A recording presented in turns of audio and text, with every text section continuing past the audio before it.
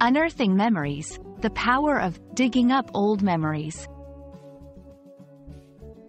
Hello, everyone. Welcome back to our channel. Today, we're diving into a fascinating English phrase that's rich in imagery and emotion. Digging up old memories. Whether you're learning English as a second language or just love exploring the depths of the language, this video will uncover the layers of meaning behind this powerful expression. Let's embark on this journey together and explore how it's used in conversation and storytelling. Digging up old memories is a metaphorical expression used to describe the act of recalling or bringing back to mind memories that have not been thought about for a long time. This phrase beautifully combines the physical action of digging, Think of using a shovel to uncover something buried under the ground, with the mental action of retrieving memories from the depths of one's mind. It suggests an effort or a process to reach back into the past and bring those memories to the present. Recalling memories can be a double-edged sword. Digging up old memories can evoke a spectrum of emotions, from joy and nostalgia to pain and regret. It's important to understand the context in which the phrase is used to grasp its emotional impact fully.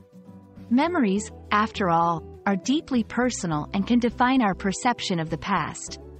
This phrase acknowledges the effort involved in confronting those parts of our history, highlighting the emotional labor in revisiting the past.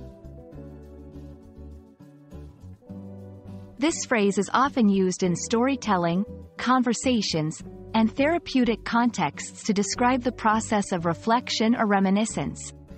It can be a powerful tool in narrative building, allowing speakers or writers to connect with their audience on a deeper emotional level. Whether it's a character in a book, digging up old memories, to solve a mystery or a person in therapy exploring their past to understand their present, the phrase conveys a sense of journey and discovery. While digging up old memories is a common phrase in English, it's interesting to explore how different cultures and languages express this concept. The metaphor of digging, with its implications of effort and uncovering, might have equivalents in other languages, but each will carry its unique connotations. This exploration can enrich our understanding of how human experiences, like memory and reflection, are expressed across cultures. We hope this journey into the phrase, digging up old memories, has been enlightening. English, with its rich vocabulary and idiomatic expressions, offers endless opportunities to express complex ideas and emotions.